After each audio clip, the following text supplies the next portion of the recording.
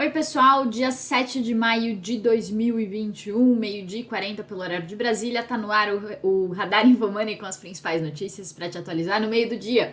E hoje os nossos destaques são: Andrade Gutierrez negocia a venda da CCR após oferta da IG4 Capital. Ações disparam até 12% com possível venda por valor superior à cotação atual dos papéis. Analistas ainda destacam os leilões da concessionária e os que estão ainda por vir como possíveis gatilhos positivos. B3 sobe mais de 4% pela manhã depois de balanço considerado sólido.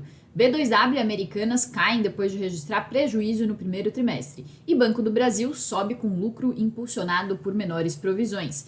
Entenda também o julgamento do STF que pode gerar correções no pagamento do fundo de garantia. E ainda, balanços da JHSF, Neoenergia, Camil, Burger King e JBS cai com restrições à exportação para a Arábia Saudita. Antes de começar, não esquece de deixar o seu like e se inscrever no nosso canal se você ainda não estiver inscrito.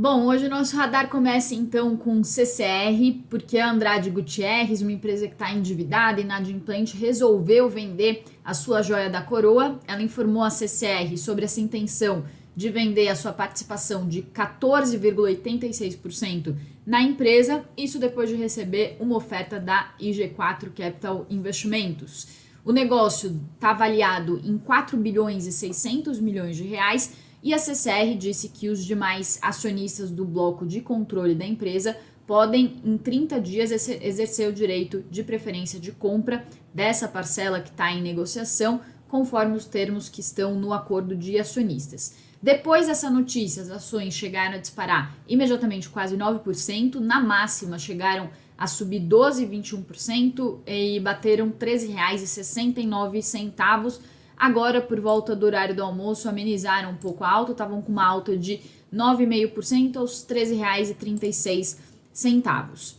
No ano, vale falar que as ações da CCR apresentam uma leve alta de 0,11%, já que a empresa vinha sendo prejudicada com as reduções é, no tráfego em rodovias já vou falar mais detalhes sobre isso, mas agora eu vou partir então para as explicações sobre esse negócio, como que os bancos avaliaram essa notícia, começando primeiro por um contexto sobre a IG4 Capital e também o fundo canadense CPP que tem relação com o leilão da SEDAI. Então, na semana passada, eles compraram um dos blocos de concessão da SEDAI, a Votorantim, que também estava no páreo, pela CCR é, ficou, pelo, ficou no meio do caminho, G4 ofereceu então essa proposta Andrade, Andrade Gutierrez, e aí falando sobre essas empresas e como elas estão ligadas em um contexto de saneamento, que tem a ver também com a CCR, você já vai entender, me acompanha aqui. Então, a Iguá é a antiga é, CAB Ambiental. A CAB Ambiental, CAB Ambiental, foi comprada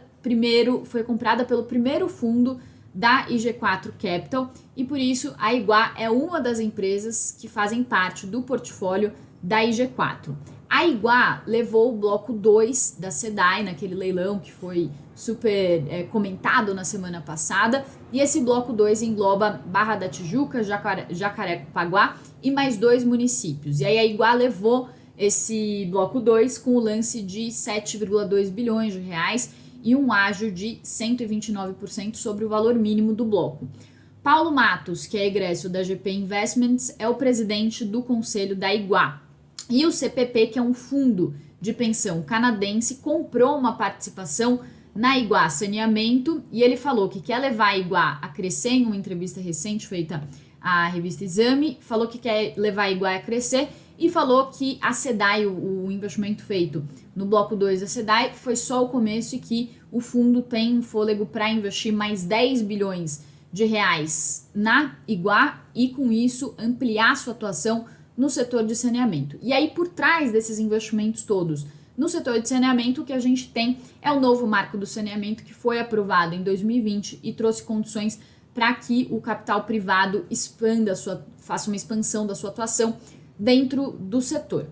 Vou voltar agora, depois de trazer esse contexto aí para vocês, de Iguá, IG4, leilão da SEDAI, vou voltar aqui para análise sobre esse fato específico da venda da participação da Andrade Gutierrez, o Credit Suisse comentou que a notícia é positiva e falou que a AGPAR é, deve vender sua participação por R$ 15,44 é, por ação, além de estar tá envolvida na negociação uma possível cláusula de earnout. O que, que é isso?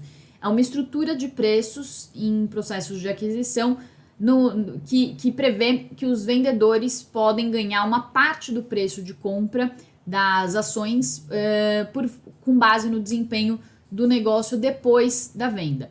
Então, com esse earnout, a IG4 Capital pode pagar até R$ 16,90 pelo ativo, isso se mesmo depois da negociação o, o valor da ação subir. E aí, eh, essa cláusula de earnout é válida por 12 meses, contados a partir da data de fechamento do negócio. Essa transação provavelmente não assina o mecanismo de tag along, isso segundo o Credit Suisse, que é aquele mecanismo de proteção para acionistas minoritários é, por meio do qual são oferecidos os mesmos valores por ação da transação ou um percentual específico para os acionistas minoritários. Eles teriam o direito de vender suas ações pelo mesmo preço que é, vai ser feita a venda desse, de, de, da participação de Andrade Gutierrez. Então, eles não acreditam que vai haver o acionamento do mecanismo de tag along nesse caso, mas eles falam que as ações sobem porque, com essa oferta de, de compra feita pela EG4, isso mostra que a ação é mais atrativa, então define um valuation mais alto para as ações. Bradesco BBI também comentou a, as negociações, disse que a Mover, que é esse Camargo Correia, e a Soares Penido, que também fazem parte do, do bloco de controle da CCR, com participações de 14,86% e 15,05% no capital da empresa, vão ter então esses 30 dias de prazo para decidir se vão ou não exercer o direito de preferência para comprar a participação da Andrade Gutierrez no lugar da IG4. Mas se esse direito não for exercido, então a Andrade Gutierrez vai poder concluir a operação com a IG4 Capital em 60 dias. E aí o BBI fala que essa operação não deve também dar, também concorda com o Credit Suisse, diz que a operação não deve dar origem aos direitos de tag along, visto que, em tese, a IG4 poderia substituir Andrade, Andrade Gutierrez no bloco de controle junto com a Camargo Correia e a Soares Penido. Então, é simplesmente uma troca ali no, no, naquela parte do, do bloco de controle, não muda o, a, o capital social é, de forma. não muda o capital social da empresa, apenas uma troca no controle, por isso o mecanismo de tag along não seria acionado. E aí o que eles dizem é que essa transação corrobora com a visão do BBI de que a CCR está negociando a um preço atrativo e está bem posicionada para participar de novas licitações de infraestrutura no futuro. Além disso, eles dizem que a IG4 tem uma ampla expertise no setor de saneamento e isso pode abrir espaço para que a CCR altere o seu estatuto para passar a investir no setor de saneamento de forma orgânica e também por meio de aquisições. Eles têm uma recomendação de compra para a CCR com preço-alvo de R$ reais. Então, por que, que eu falei toda aquela história de G4, de Iguá, é, como que elas estão envolvidas ali com o leilão da SEDAI, levaram o bloco 2 por causa disso, porque o BBI faz essa leitura de que com a IG4 é, comprando essa participação na CCR da Andrade Gutierrez, o que acontece é que isso abre espaço para novas possibilidades da CCR, inclusive para empresas se expandir no setor de saneamento. Lembrando que ela atua hoje no, no setor de concessões ali ligadas ao transporte, transporte rodoviário como o transporte via aéreo. Eu já vou falar um pouco mais também sobre isso. Então, trazendo agora um contexto da CCR, no mês de abril, que foi um mês considerado histórico por causa dos vários leilões de infraestrutura, a CCR levou 15 aeroportos no interior dos estados é, do sul do país e também de algumas capitais do Nordeste e desembolsou um valor de quase 3 bilhões de reais em outorgas. Talvez vocês lembrem dessa notícia, o ágio chegou a 9 mil por cento, então foi bem comentado esse leilão de aeroportos. E aí, no dia 20 de abril, a empresa liderou o consórcio Via Mobilidade, que venceu o leilão das linhas 8 e 9 eh, Diamante Esmeralda da CPTM, que atuam na cidade de São Paulo, com uma oferta de 980 milhões de reais e um ágio de 202% sobre o valor mínimo. Além da SEDAI, daí trazendo um contexto aí do, do, do que está por vir no setor de saneamento. Além da SEDAI, cinco, novo, cinco novos leilões estão no radar do BNDES para serem realizados no primeiro semestre do. até o primeiro semestre do ano que vem, com um valor estimado de 17 bilhões de reais de investimentos para atender 10 milhões e 400 mil pessoas. E daí vale falar que a CCR é dona hoje de 13 concessões rodoviárias, entre elas a Via Dutra, cinco aeroportos e seis concessões de mobilidade urbana. Daí, sobre essas recentes concessões, o Bradesco BBI já tinha comentado que em relação à CPTM, a CCR passava a ser responsável por 27%, passa a ser responsável por 27% dos passageiros nas concessões de mobilidade urbana do Brasil. Então, eles já tinham visto essa notícia como positiva e falaram que a empresa se fortalece como o maior player privado dentro do setor de concessões urbanas e mostra que a empresa está reciclando com sucesso o seu portfólio. Daí eles já tinham falado que essas concessões da CPTM poderiam adicionar 40 centavos ao valor das ações, sendo que, junto com a, as concessões de aeroportos, o valor total adicionado às ações poderia ser de R$ 1,50. Além disso, o BBI também fala que está na mira e está tá no radar da empresa um possível rebalanceamento dos contratos com o governo de São Paulo e que se isso também sair, isso pode adicionar um valor de R$ 3,10 às ações. Então, todos esses valores que podem ser adicionados, eles não entram no preço-alvo que hoje o BBI tem de R$ reais. Então, eles podem, além desse preço-alvo que eles já têm de R$ reais, que está acima da, da negociação da ação hoje, eles acham que também com esse rebalanceamento econômico pode gerar mais de R$ 3,10 e com as outras concessões R$ 1,50. Falando sobre também essas concessões que já vinham acontecendo, sobre esse potencial aí de novos leilões que vão acontecer no setor, Credit Suisse tem, falou que, apesar do ágio, a CCR venceu o leilão das linhas 8 e 9 da CPTM, oferecendo um valor relativamente baixo, sendo 24% superior à segunda maior oferta. Ele já tinha um preço-alvo ali de R$ 21,50 para as ações quando saiu a notícia sobre o leilão da, da CPTM. E aí a Levante faz uma análise aí para fechar o assunto sobre CCR. Ela comenta que a vitória no leilão de aeroportos é, destacou o apetite pelas concessões da CCR, que vinha em um momento de baixa por causa dos baixos é, movimentos, o baixo tráfego das malhas operadas pela CCR, que foram prejudicados, esse tráfego foi prejudicado por causa da pandemia. Daí eles falam que, que essas concessões, esses leilões, também coincidem com a conclusão da reforma estrutural interna da companhia, que começou em 2018, quando foram descobertos esquemas de corrupção com a entrada do novo CEO em junho de 2020. Desde então, a Levante destaca que 70 executivos já deixaram a empresa e aí, por isso, é, resumindo, a equipe de análise da Levante falou que tem um misto de sentimentos em relação aos planos da CCR. Eles falam que, por um lado, com a forte expansão do setor, tem oportunidades interessantes para a CCR, para injeção de capital no setor. Além de a CCR ser uma das poucas empresas com, com expertise, ela tem poder de fogo para arrematar projetos importantes, mas por outro lado, eles falam que por serem investimentos de longuíssimo prazo, se, se, se houver um exagero nos ágios, como teve ali, no, no, não estou dizendo que foi exagero, mas como, como os ágios que aconteceram, né, como destacando que já aconteceram ágios fortes aí, tanto no leilão de aeroportos quanto no da CPTM, né, eles falaram que se for identificado, se for interpretado um, um exagero nesse ágio, nessas propostas de leilão, com os ambientes, com um ambiente de juros longos ainda em alta no país, isso pode gerar uma taxa de retorno no longo prazo não condizente com a rentabilidade esperada da CCR. E isso pode prejudicar a geração de valor para os acionistas no longo prazo. Então, conforme essas notícias de leilão vão sendo digeridas, o mercado também vai observando se a empresa pagou um valor caro ou não por essas concessões, mas fato é que tem muitas concessões ainda pela frente, os preços alvos aí mostram que a empresa tem um potencial de valorização, essa venda por esse valor aí pode mostra que a, que a ação está com preço atrativo, ainda que não existe, ainda que não, não seja acionada a cláusula do tag along nesse caso, é, mas só o fato de as ações serem vendidas por um valor superior ao da cotação atual, isso traz um recado aí para os investidores de que as ações poderiam estar tá sendo é, negociadas com desconto. Então todos esses, esses motivos acabam levando a uma alta forte das ações nessa sexta-feira, inclusive com essas avaliações aí positivas para o futuro da CCR. Dado o recado, bora para nossa nosso bloco de bolsa. Vamos lá, então é, vou pedir pro Lion hoje, Lion que tá com a gente, é, tá, tá cobrindo aí a folga do Fabão hoje. Então vamos ver nosso Ibovespa aí com uma alta de 0,77% aos 120.844 pontos. O dólar com uma queda de 1,31%, vejam só, aos R$ 5,21. Já vou falar sobre isso.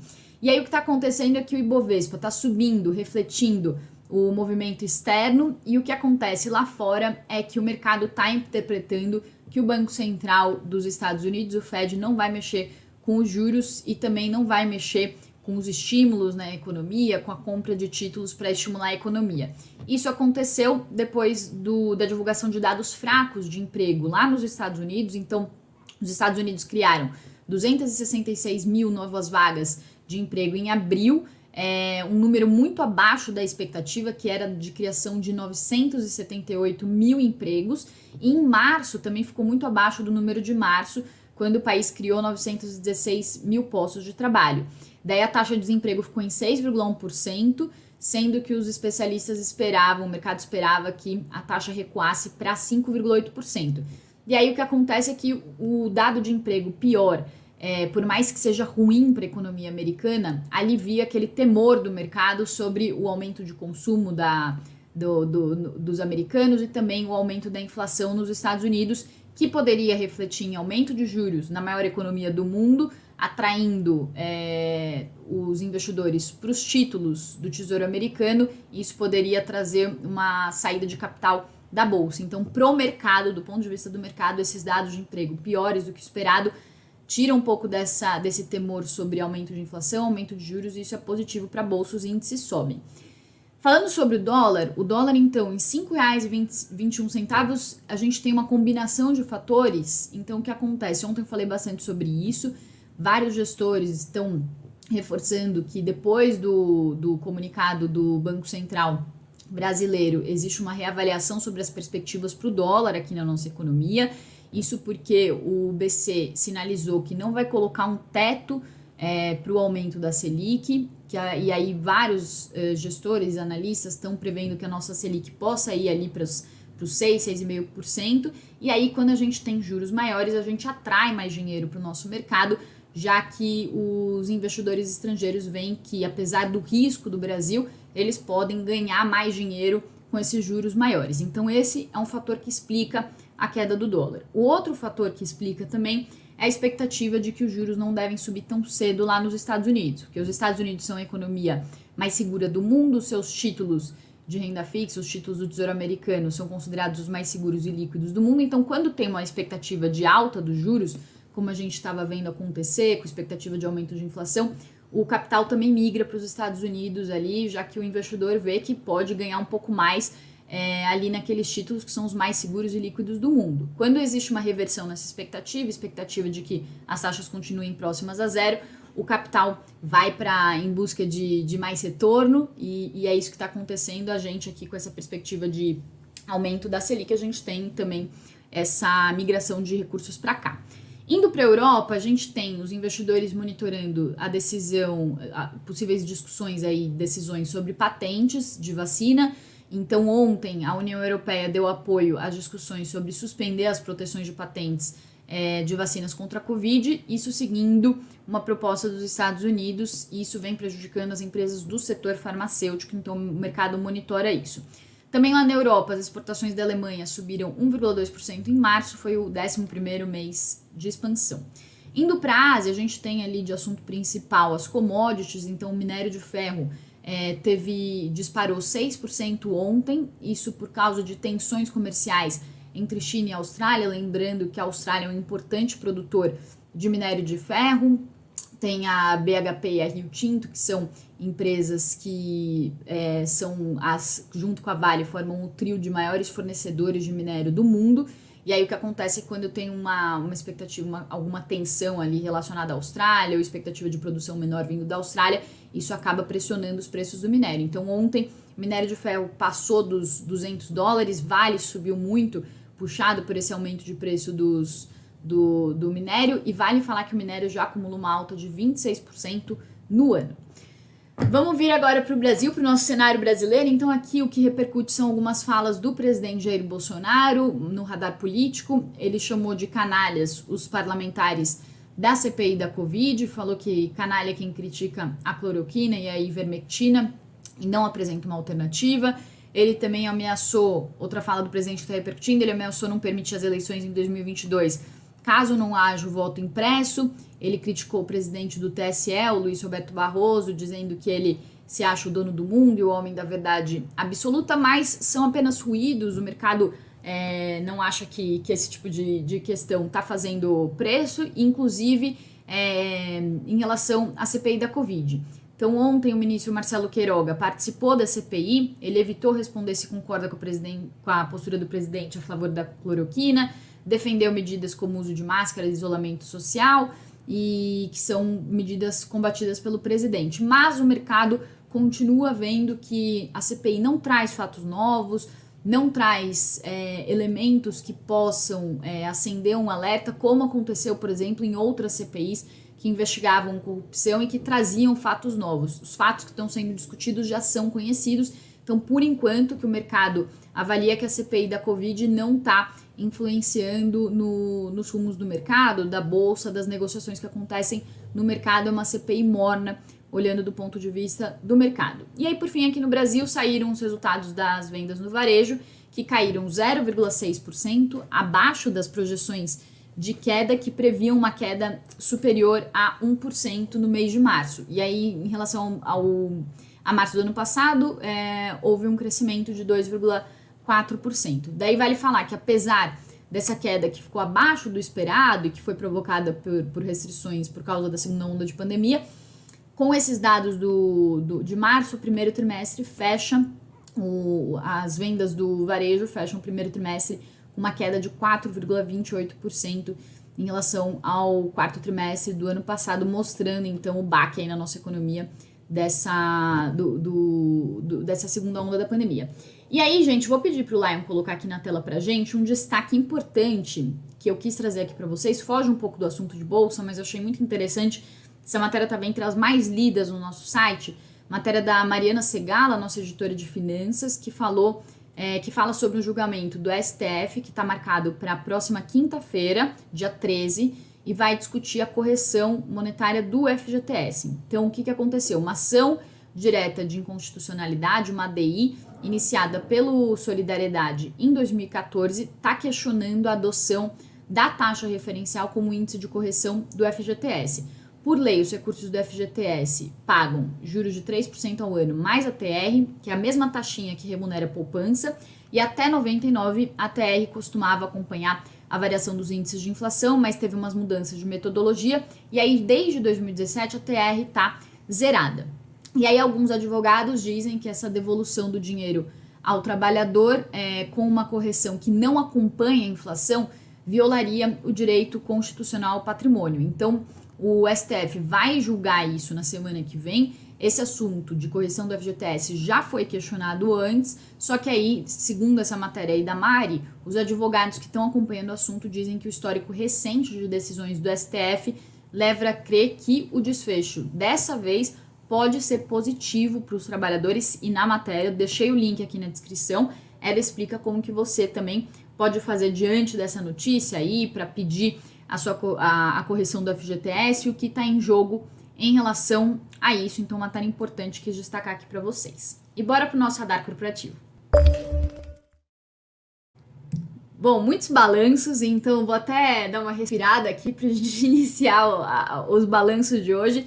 Mas eu começar aqui então por Banco do Brasil. O BB registrou um lucro líquido ajustado de quase 5 bilhões de reais no primeiro TRI, 44% acima do primeiro TRI de 2020 e 32,9% acima do quarto trimestre do ano passado. O lucro foi recorde para um trimestre, e aí o novo presidente do Banco do Brasil, Fausto de Andrade Ribeiro, disse que esse lucro foi resultado de uma estratégia que buscou aumento da eficiência e controle rigoroso de despesas com foco em linhas de crédito com maior retorno.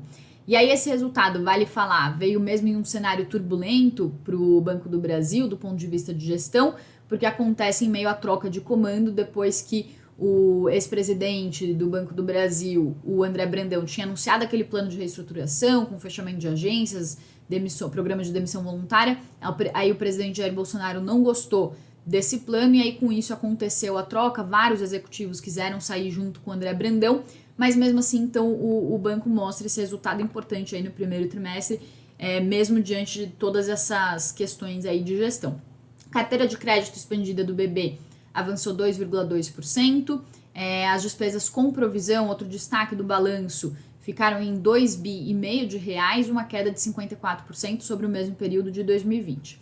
Daí o índice de cobertura sobre empréstimos com atraso acima de 90 dias cedeu 10 pontos percentuais para 328% e a inadimplência nessa faixa de atraso ficou em 1,95%, uma ligeira oscilação positiva em relação ao fim de 2020.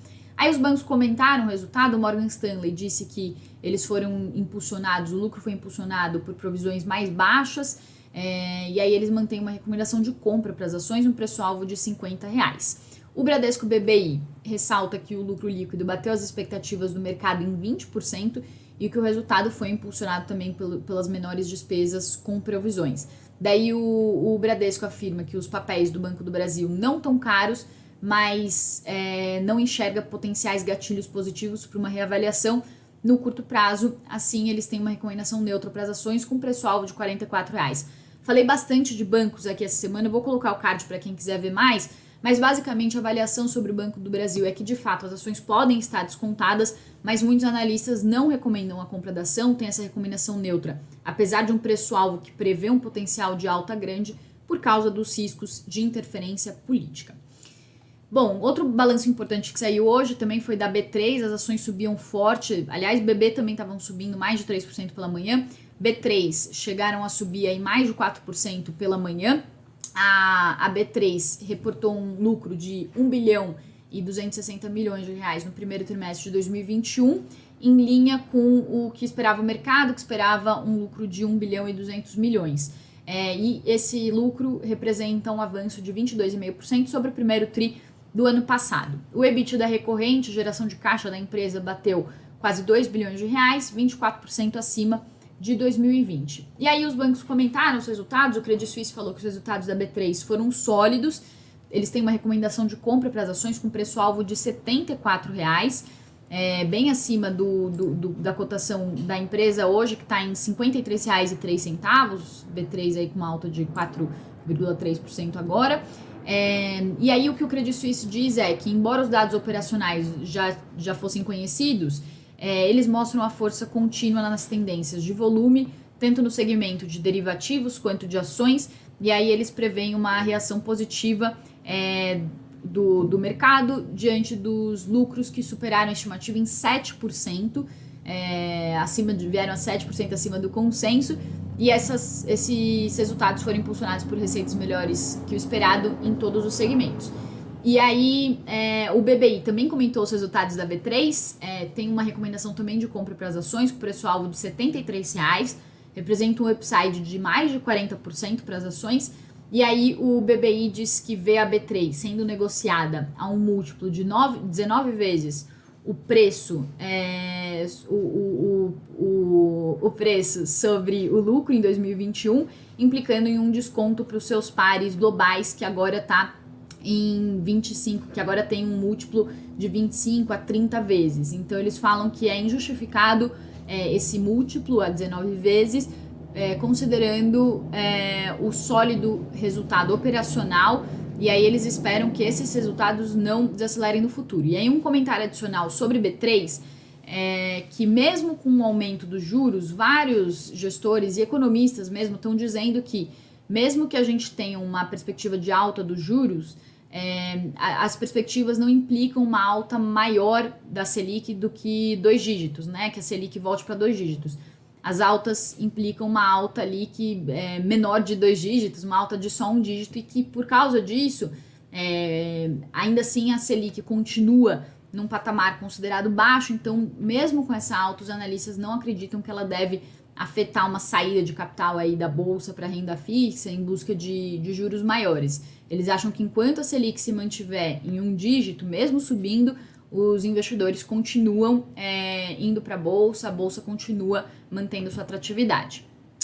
Bom, saíram também balanços de lojas americanas e B2W, então Americanas teve um prejuízo líquido de 163 milhões de reais, um, aumentou o prejuízo em 231% em relação ao primeiro tri de 2020, é, e a B2W registrou um prejuízo líquido de 163 milhões de reais no primeiro tri, uma alta de 51,5% em relação ao mesmo período de 2020. Eu não vou detalhar os números dos balanços, mas vou colocar na descrição o link para a matéria do site que tem todos os números, mas vou passar aqui já direto para a análise que a Levante fez sobre os resultados, que resumiu aí um pouco do que o mercado achou sobre é, Lame e B2W. O que eles falaram é que o resultado de lojas americanas veio, de certa forma, consistente, mesmo com o efeito de novas interrupções é, nas operações por causa da pandemia.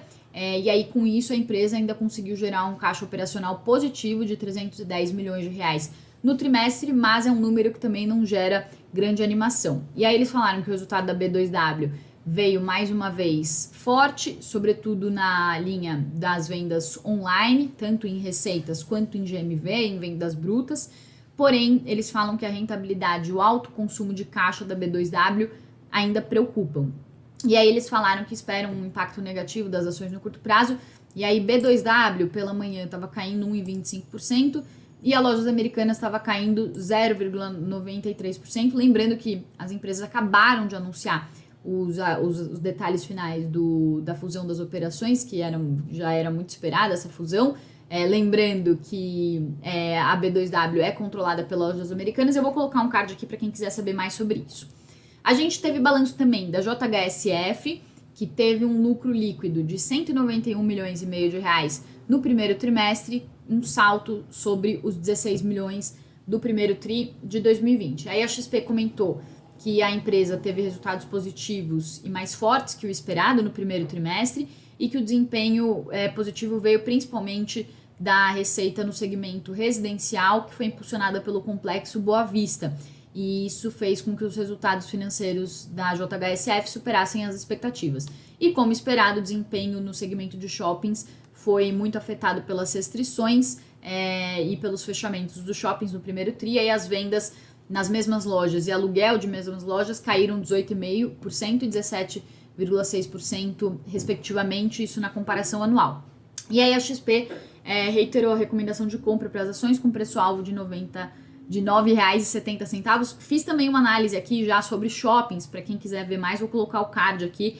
É, apesar deles apresentarem esses resultados ruins no curto prazo, é, o mercado tem uma expectativa positiva aí com retomada da economia. Neo Energia também divulgou seus resultados, registrou um lucro líquido de 1 bilhão de reais no primeiro trimestre. Vou passar mais rápido por alguns resultados aqui. Burger King também reportou seus resultados, apresentou um prejuízo líquido no primeiro trimestre de 162 milhões de reais. Daí o Credit Suisse comentou que os resultados é, já eram fra vieram fracos, como era esperado. E daí o que eles dizem é que, mas eles têm uma recomendação de compra para as ações, um preço-alvo de 12 reais, porque eles acreditam que pode haver uma melhora aí com retomada da economia, abertura da economia. Eles falaram que as primeiras semanas de abril já foram melhores para o Burger King e devem e, e as vendas online podem ajudar a mitigar um trimestre desafiador aí para a empresa. Morgan Stanley fez uma avaliação parecida, falou que os números vieram ruins como esperado, mas que eles apresentaram de certa forma boas, um, bons números de vendas considerando as restrições da pandemia. Tem um preço-alvo para as ações de R$ 12,50 e eles têm essa recomendação de compra porque eles veem que o Burger King é uma, uma ação que representa uma oportunidade de compra, porque ele pode apresentar as ações podem apresentar uma rápida recuperação e uma reavaliação nos próximos meses por causa da retomada prevista por, pelo segundo semestre, ressaltando que a empresa foi muito prejudicada por causa da pandemia. Camil também reportou seus resultados, lucrou 85 milhões de reais no quarto trimestre, mas isso representa uma baixa de 34% na comparação com o ano passado. E daí a empresa falou que os volumes tiveram uma forte volatilidade no ano fiscal de 2020, lembrando que a Camil, ela faz aquele trimestre fiscal, né, que abrange os meses entre dezembro de 2020 e fevereiro de 2021. E aí ela falou que os volumes tiveram forte volatilidade no ano fiscal de 2020, é, por causa do cenário de patamares elevados de custos de aquisição e de insumos e de matéria-prima na categoria em que eles atuam.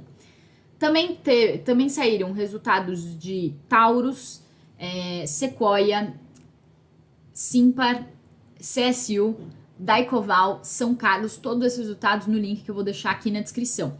E aí, por fim, é, vou passar muito rápido. Semig e Taesa, então, a estatal mineira Semig está organizando um processo competitivo para desinvestir é, da Taesa, para vender toda a sua participação na Taesa.